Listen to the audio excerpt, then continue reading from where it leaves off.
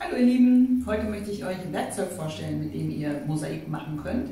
Dazu gehören unter anderem diese beiden Tools. Anfangen möchte ich mit den Zangen, die man typischerweise eben für die Verarbeitung von Industrie-Glasmosaik verwendet. Die haben hier zwei solche Rädchen und mit denen kann man sehr, sehr präzise arbeiten. Gibt es in verschiedenen Ausführungen. Äh, man kann diese Rädchen auch austauschen, wenn die nicht mehr so scharf sind. Also man muss nicht immer eine neue Zange kaufen gleich. Dann gibt es diese Zange hier. Äh, für Fliesen ist die besonders geeignet oder eben anderes härteres Material. Dieser Mosaikhammer hier, den es in verschiedenen Grammaturen gibt, ähm, der hat eben auch hier so einen Vidia-Einschluss, einen Hartmetall-Einschluss, wie man an dieser Stelle hier ganz gut sehen kann. Der hat den nur auf einer Seite, manche haben ihn auf beiden Seiten und manche haben keinen.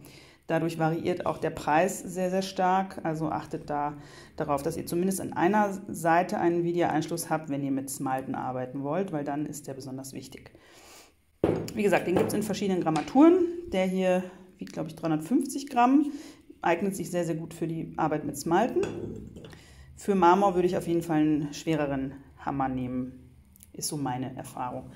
Und das hier ist das Gegenstück vom äh, Mosaikhammer der Tagliolo, der Keil, äh, wieder eingelassen wird in einen Holzstamm, zeige ich übrigens in einem meiner Tutorials, das ich unten auch verlinke. Und dann, ja, kann ich nur empfehlen, auch eine Pinzette, so einen kleinen Spachtel sich anzuschaffen für genaueres Arbeiten, größeren Spachtel. Und dann gibt es noch dieses Werkzeug hier, gibt es auch in einfacherer Form. Der hier liegt gut in der Hand, das ist ein Glasschneider. Der hat hier so ein ähm, Diamanträdchen, mit dem man dann über das Glas fährt. Und dann kann man das von Hand angeritzte Material brechen. Das geht ganz gut auch mit so einer Zange hier, so einer Brechzange. Und es gibt diese Kräuselzange, äh, durchaus hilfreich, wenn man mal so ein paar ähm, schärfere Kanten nochmal ausgleichen will. Da kann man dann quasi das Material so ein bisschen anknabbern.